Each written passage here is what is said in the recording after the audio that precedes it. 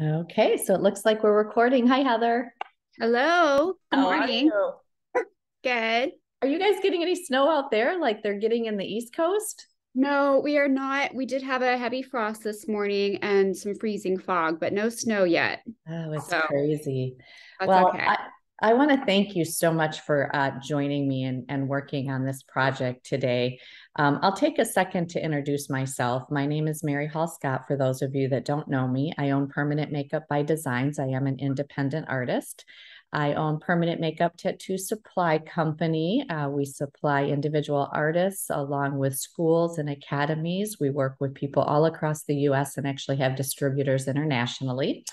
And then I also founded PMD Academy, which has turned into PMU Collaborative with my co founder, Laura McElroy. So um, it's really, really exciting. And the, the, the reason that we went from PMD Academy to PMU Collaborative is we're, we're trying to make a difference in the industry, right? And we've extended our training programs from like five days to three months. So we want to help elevate our industry. We want to make our industry more professional, and we need the education. And by doing so, everyone is going to benefit, not just a few, but like the masses are going to benefit if we can elevate the standards to where I want to see them, you want to see them, and I'm sure many other artists and educators want to see them. So um, that's a little bit about me. Why don't you go ahead and introduce yourself?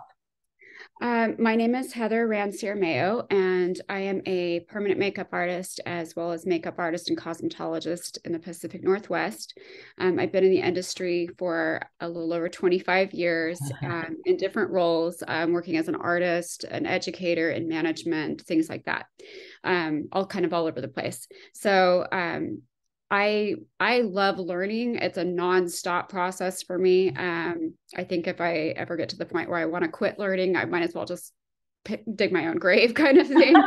um, so it'll just all be over then. Um, but yeah, so it's really important to me to have a continuous education for myself, but also to in that really um, incorporate my peers and really seek out um, you know credible knowledgeable sources so that you can make sure that you're not only getting accurate um, you know scientific and experience based mm-hmm. information but also you know just uh, sharing that with your overall community. Because i my favorite one of my favorite quotes uh, i think i might have told you before is rising tides carry all ships. And i just fully believe that that if we um, just com- you know continually elevate um, the level of uh, learning and the level of service that we offer to our clients and that level of knowledge, then we will just literally elevate our whole industry.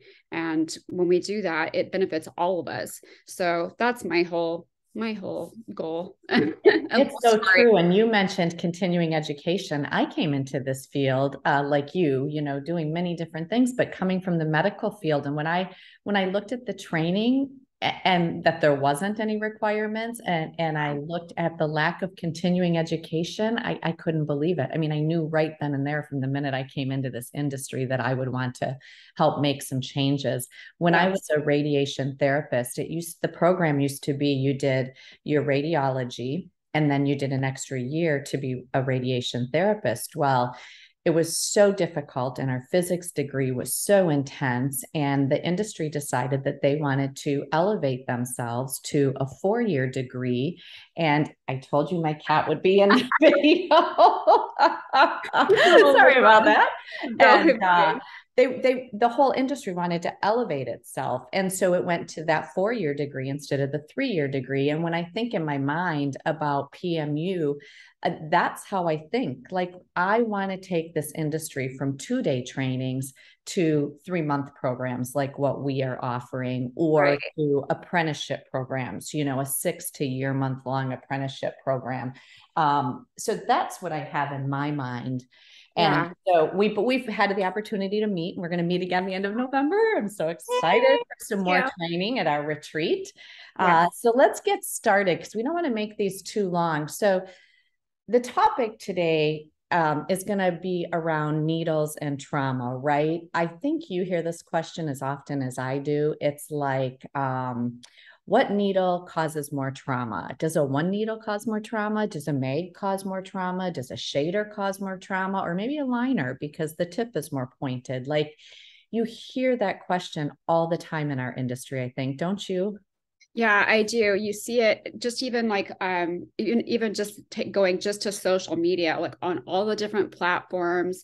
There's it's a very common question, like what do I do? And that just further um, reiterates like what you were just saying. There's n- two days just isn't enough, and people have to understand things like their needles and why and what and where and when, so that they can make those decisions when they're by themselves in their shop and they're like they have the client space right in front of them. you can't just stop and call a mentor if you have one, even.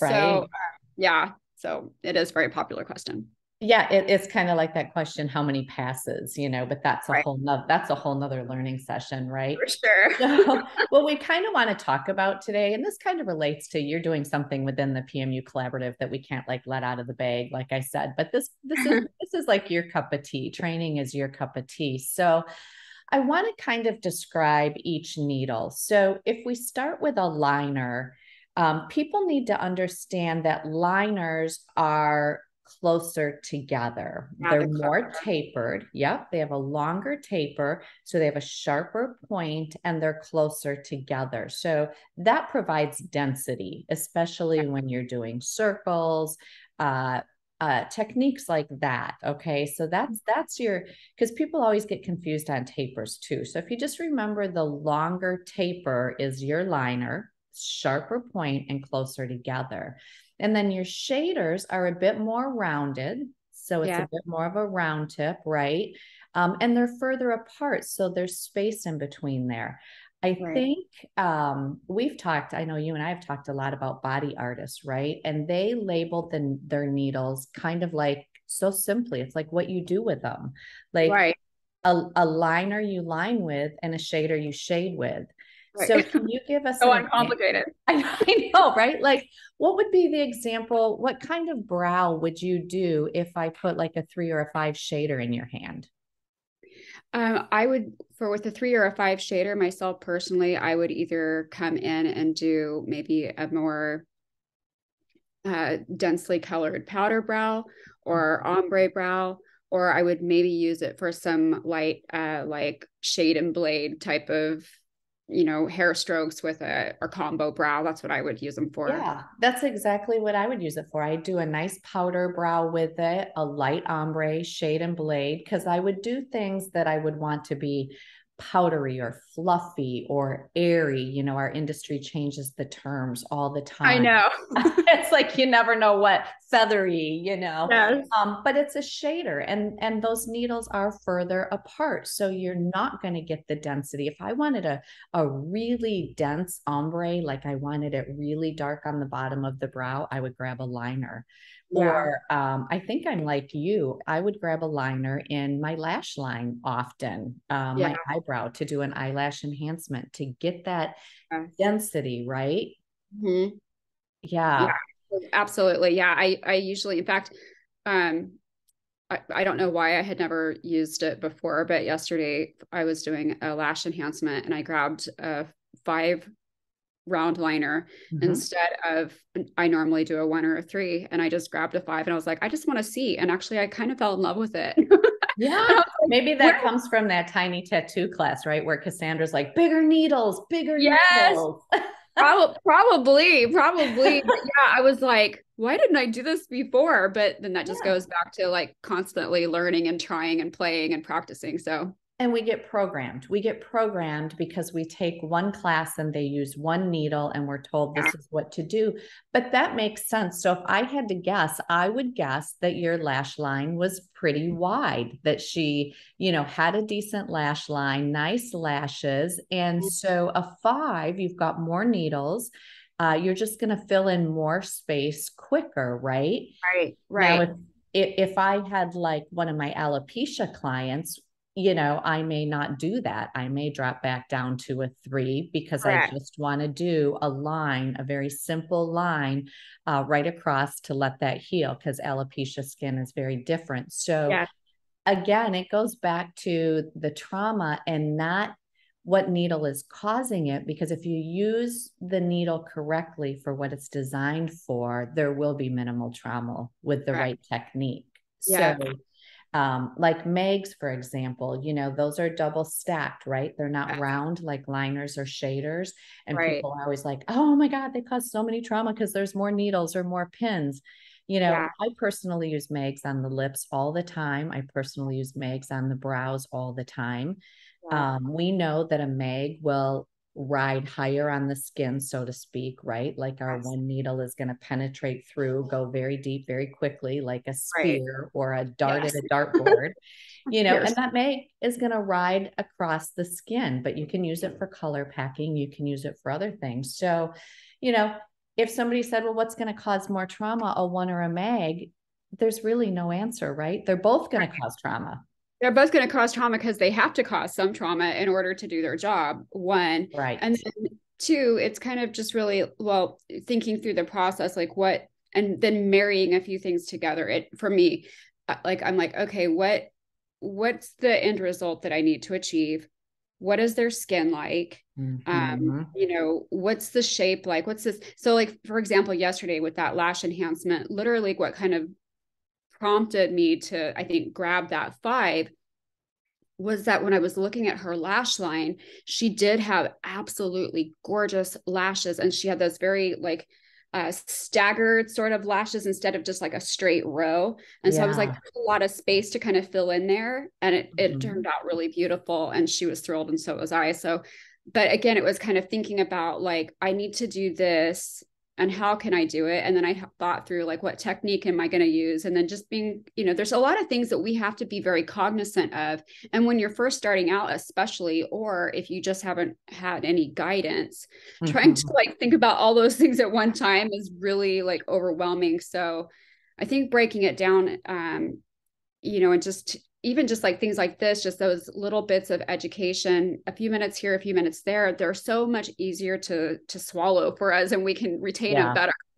oh, it's so true. And um, one thing newer to the market, which I will take credit for because I actually designed and was the first person to bring acupuncture cartridges to the oh, market. My 1RL acupuncture was the first. Yay. I love um, it. Because I so studied acupuncture and and we started doing all these you know whipping and and pendulum techniques. And so so take you know take your eyeliner and you've got a lot of space in there. And you chose what sounds like to be the very appropriate needle with it and you probably did the procedure with very little trauma. Um, but let's say that that eye uh, the skin was thinner the the client was older. It was a very vascular eyelid. Uh, she had just a very minimal amount of lashes in a very small space.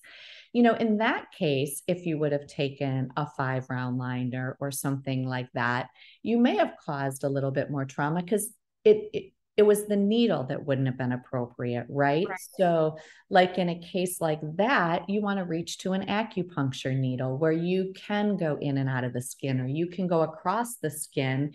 And that needle, because it's more rounded even than a shader, right. will roll over those vessels instead of stabbing them. Yes. Um, so, even on someone with very uh, heavily vesseled skin or very thin skin, we mm. can minimize the trauma again if we choose the right needle. Yeah. So the, the wrong needle would only be because you paired like it's like pairing wine, right? You paired like yeah. the wrong needle with the wrong technique on the wrong person. In right. that case, you're a seven or a five liner would do more harm than like a three acupuncture. Does that right. make sense? Yeah, it it absolutely does. And I think, you know, I know I'm sure you've run into situations like this too that sometimes like you can think through everything and then you'll yeah. just have a person whose skin will surprise you and yeah. you're like oh what's happening here and you either have to stop and readjust you know kind of rethink things and reroute mm-hmm. or when they come in for their touch up you're like oh okay we need to like come at this from another another position and look that way. So i mean sometimes even when you think you've thought everything through there's always an extra variable that can get thrown in the mix. So having an understanding of all the needles and what tools you have really empowers you to then make those calls for your for yourself in the best possible outcome for the client too. So yeah that's a really good point because i'm 10 years in and mm-hmm. you know i'm very transparent and i would tell everyone that'll happen to me I'll misjudge. After 10 years, I'll misjudge. But right. that's the difference between an educated artist um, and experienced and non educated and non experienced. Because, like you said, I either might make a change during the procedure or when they come back and their skin is healed, I'll make the change at that time. But more than likely, I know what change needs to be made. Right. And if you're right. not educated, it's like grasping at straws or finding a needle in a haystack, right? And by the time yeah. you switch up three or four times, the skin is inflamed, you know, that's traumatized, you've got lymph production, right. you've got all sorts of stuff going on. Right. But and yeah. I think um I think just as a side note to that, um part of that whole thought process is after your procedures, taking um taking good notes, making good chart mm-hmm. notes. Because, like, I know, I, I, mean, I don't know about everybody else, but I know for myself that before I, I have somebody come back in, even for like a color boost, I've already pulled their their old file mm-hmm. and I've looked at like, oh, what did what did we do last time and what outcome did we have? Oh, did I have any obstacles? And I already know what color I used and blah blah blah. So that when they come in, as soon as I look at them, I can be like, oh, well that even though we did this, that faded kind of cool over time, or you know what I mean? Right. So I think taking good notes uh, and documentation about like what needles you used, what machine you used, what speed you worked at, all that stuff um, is really immeasurably valuable. Oh, that's that's so key, especially I mean all, throughout your whole entire career, but especially in the beginning. So yeah. I think if people understand the needles, right?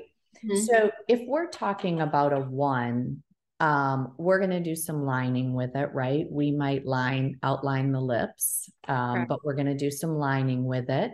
Uh, if it's an acupuncture needle and we're coming on and off the skin, we might do some pixelating with it. We might do some whip shading or some pendulum right. with it, right? Um, there are people that fill in an entire brow, fill in an entire lip, you know you can do circles you can do crosshatch you can do back and forth with a one yeah. um, but i always tell people to remember those we we sell classes and we see this all the time but i think that what doesn't get stressed enough is those are again experienced um, techniques because that one can go very deep very fast. If you're doing pointillism, you can leave freckles. I mean, you have to be really good with a one if you're going to whip shade and pendulum throughout a whole brow. Right, right. I agree. I do. I agree because with the one, especially if it, with that longer taper to it, yeah, you can very easily just have like I think of them as like hot spots. And mm-hmm. I mean, you know, just being totally transparent, I learned that the hard way, like a couple times being like, oh, what happened there? Oh, that was me. I happened there. Like, right. So then you have to go back and, you know, and then, you know, learn from your mistakes. But, um, but yeah, I think you can definitely come up with stuff like that. And then again, with the trauma, um, too, like if you don't have the right stretch and things like that, then you can create, you know, yeah, the right angle. Yeah, the right angle and stuff like that. You can create more damage that way too, for sure. So when you're talking about like threes and fives and sevens, we already kind of talked about this. I mean, nines, um, I don't use I kind of only go up to a seven. That's my personal preference just because I can use it for everything. But there's nines, there's 13s, there's there's huge you know needles out there. And the benefit that we mentioned is surface area right? Like we can yeah. cover more area. So we can take a three and we can do circles or we can do you know back and forth crosshatch again. We can do some of these um, but coming in and out of the skin with a liner as we talked will create more trauma because as you come in and out i always tell people my analogy is it's like an airplane landing on an airstrip with uh, metal spikes in its tires. You know, it'd be like boom, boom, boom, boom, boom. It'd be like even rougher than some of the flights we've had. Right. right? Like those metal spikes would tear up the runway when you land and when you take off. And when you've got a really sharp needle, if you come down onto the skin, you're going to cause some trauma. And when you come up off the skin, you're going to cause some trauma. Right.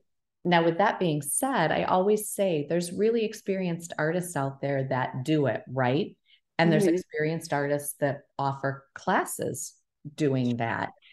But that's an experienced artist that has worked very hard to develop that technique. You know, right. that's not what They're the very, person very, should do. yes, yes, they very finely finessed their their movements and techniques and their stretch and everything to all come together in a perfect storm, so to speak. Right, exactly. So I think you need to, like you said, you need to look at what you're trying to accomplish you need to understand the skin or the layout. You know, can I use a liner? Is that going to be appropriate? You know, should I use a shader? Do I want something softer? You know, is it vascular? Should I use an acupuncture?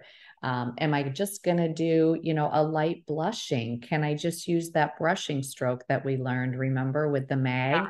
You know, yeah. where you barely come up and off the skin. You can give a little bit of a softer edge, but right. it's, it's not like that whip shading or that pendulum. And that's actually, that was a, um, a term that we kind of picked up from the body artists when we were going through that training.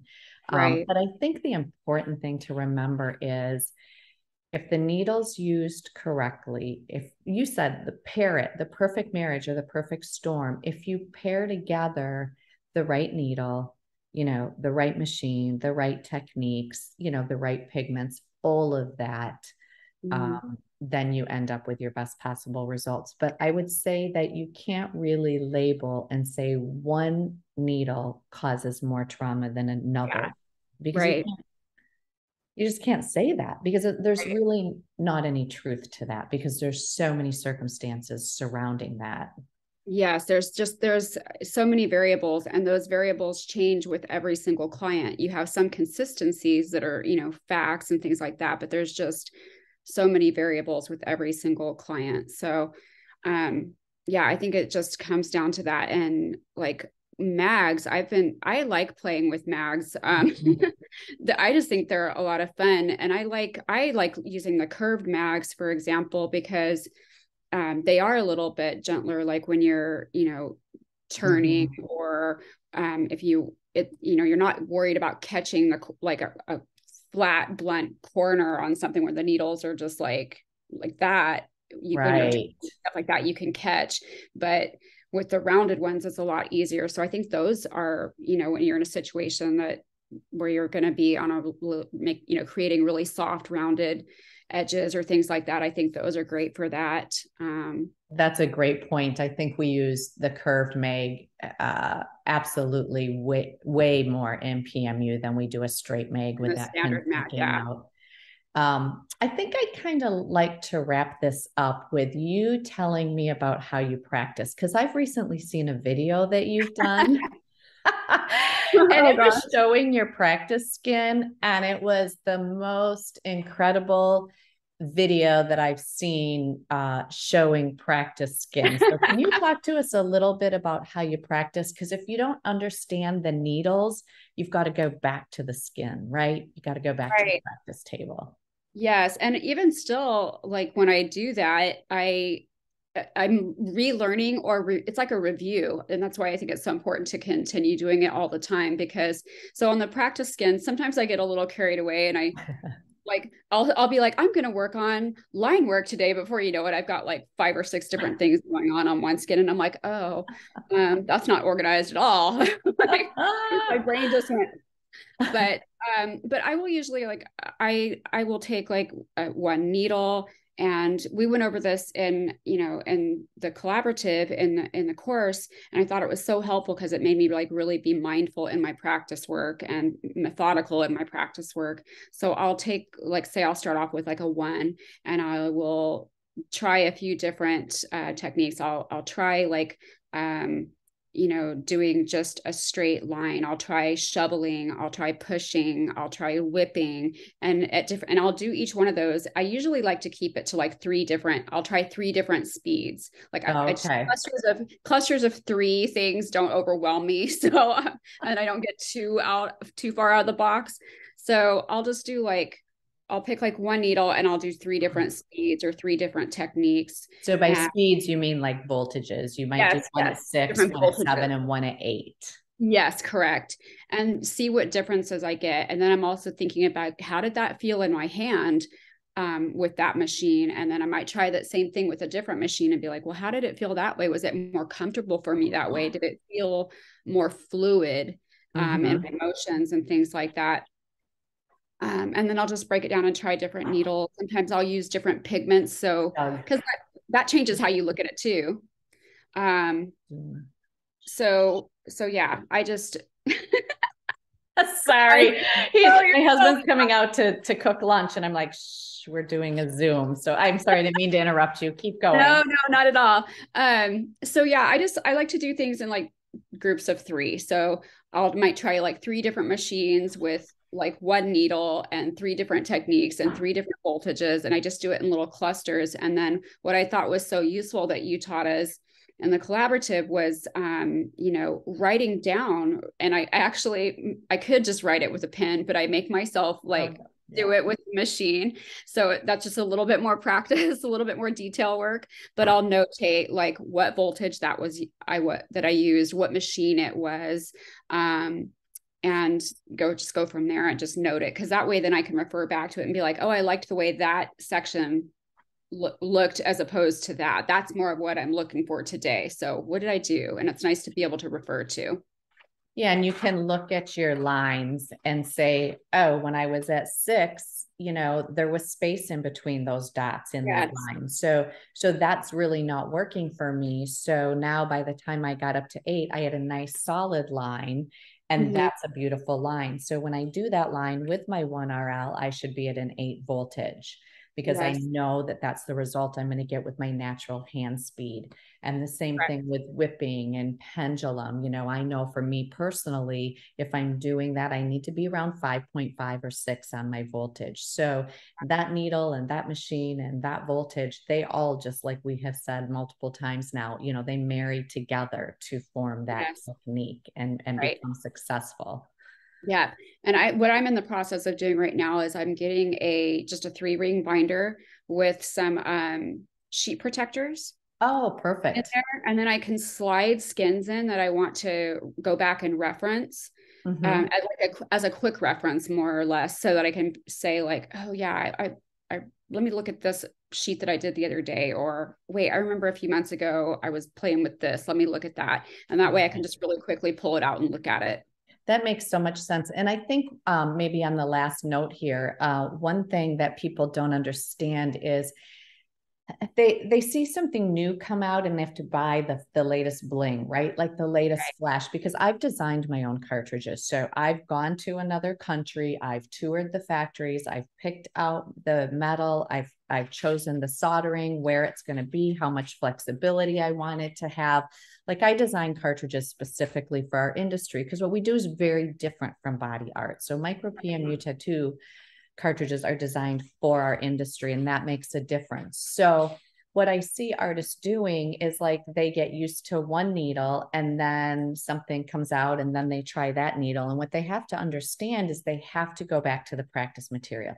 If you've never used my acupuncture needle, start on practice material because I just did a thing in CTP, right? We don't practice on faces. That's yeah, not what we're about. We're more professional than that. Um, and if you switch from one brand to another, that long taper is going to be a different taper the yes. short taper is going to be a different taper. It might be a medium taper. So the the tapers and the tips on the needles from each manufacturer are going to be different uh, because yes. what I use on my short and my acupuncture are different probably than somebody else's because they were my designs for what I felt our industry needed. So if you for some reason all of a sudden switch to another brand, then you need to go to the practice table before you start going practicing on people. I agree with that 100% because I I ran into that myself, like switching back and forth between brands. I'm like, oh, that's doesn't feel the same, or that doesn't even quite look quite the same, or it didn't perform the same um, the way I used it. So, yeah, yeah. I think that's really important. Again, it's just there's a lot of variables to consider, so it's important to understand all your tools mm-hmm. so that you mm-hmm. can choose correctly to give you the best possible outcome. So, well, Heather, I really appreciate you taking the time to do this with me. I think getting the message out there that no one needle versus another needle is responsible for trauma.